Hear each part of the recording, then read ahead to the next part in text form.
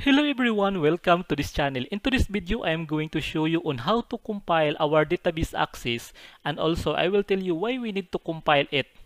By the way, we need to compile our database because if there are errors in our VBA code, we cannot convert it from ACCDB format or editable format to executable format. Just like this one guys, I'm going to show you. By the way, this database is not already compiled. So let us try what happened.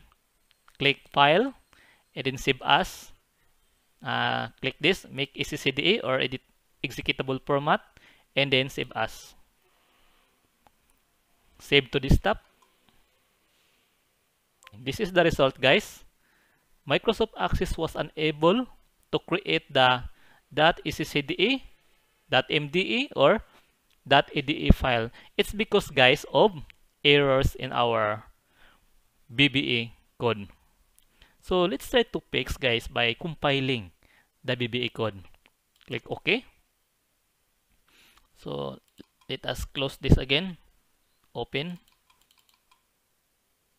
And then to compile, click create and then go to Visual Basic.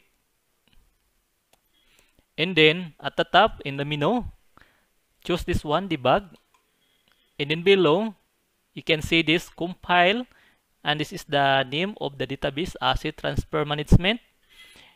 Click compile guys and here we go. This is the there's an error compile error stating method or data member not found and this one the highlighted one. Meaning to say guys this is no longer exist because uh, stated data member not found. So we can um, delete this guys just delete this one. Don't worry. And if you're doubtful you can create a backup guys. So again go to debug and then compile again.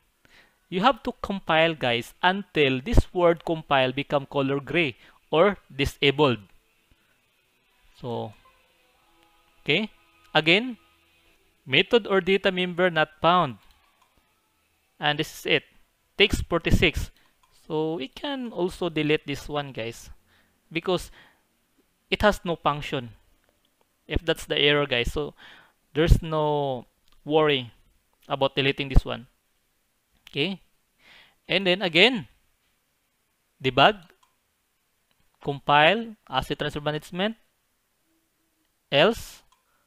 So there's no highlighted code. When you see this one compile asset transfer so become color gray. So meaning to say all your code in this module is okay we can convert now our file from ECCDB format to ECCDA so now let's try. Click file save as.